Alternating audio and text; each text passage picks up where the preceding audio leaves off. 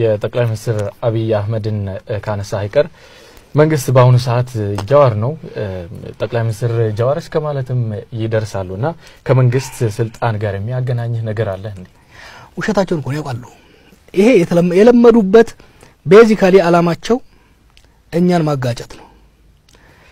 በዚህ አመራር ውስጥ በኦሮሞ ፊት ለፊት ያለን ሶስት ሰዎች ነን። አብይ አለ፣ ለማ አለ፣ እኔ አለን። የእኛ ሶስታችን አብሮ መስራት በጣም ያስፈራቸዋል። ማጋጨት ይፈልጋሉ። ከዚህ በፊት ደግሞ ተሳክቶላቸዋል። በተለይ ሰባ አምስቱ revolution ንጉሱን ባወረደው ላይ ዶክተር ሰናይ ልኬ፣ ሀይሌ ፊዳና ባሮ ነበሩ። የእነኚህ ሶስቱን ማጋጨት እንደ ትልቅ ዓላማ በመያዝ አጋጯቸው። ሰናይ ልኬ ተበላ፣ ቀጥሎ ሀይሌ ተበላ፣ ቀጥሎ ባሮ ተበላ። የኦሮሞ ትግል ወደ ኋላ ተመለሰ። simple déjà vu ነው። አሁን ሲቿን መስራት የ mind game ነው መጫወት የሚፈልጉት። አብይን undermine ለማድረግ ነው። አብይ የኦሮሞ መሪ ነው። የኢትዮጵያ ጠቅላይ ሚኒስትር ነው። እኔ እንደ አንድ አክቲቪስት እና አንድ intellectual እሱንም ተቸዋለሁ አስፈላጊ ሲሆን ህዝባችን እናንቀሳቀሳለን። የለውጡ መሪ እሱ ነው።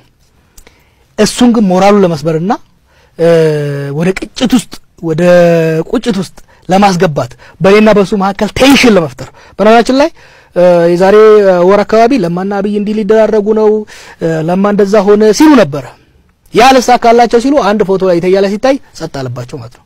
አሁንም የሚፈልጉት እንደምንም ብለው አብይ፣ ለማ፣ ጀዋር የሚባሉ ግለሰቦች ከተቻለ እርስ በርሳቸው እንዲጨራረሱና እንዲጠፋፉ ከዚህ ዓላማ ነው። የእነሱ ጉዳይ ከአብይም አይደለም ከጀዋርም አይደለም ከለማም አይደለም ከኦሮሞ ህዝብ ጋር ነው።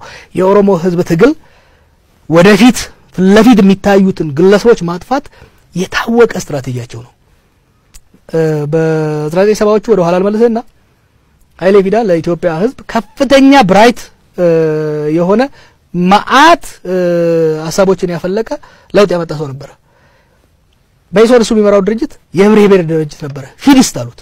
ኃይሌም አላሉትም። ፊዲስት ኦሮሞ ድርጅት ለማለት ዘመቱበት ዘመቱበት፣ መጨረሻ ላይ ያስገደሉት። ባሮም በዛው መልኩ እና አሁንም የሚፈልጉት ቢመቻቸው ቢመቻቸው ለእነሱ ሰርግና ምላሽ የሚሆነው እኔ አብይና ለማ ብንጠላላና ብንጠፋፋ በቃ ስላታቸው ደረሰ። ያ ግን አይሆንም። ምክንያቱም ከታሪክ ለምደናል። እነሱ እንደሚያስቡት ዝም ብሎ ጅሎችም አይደለንም።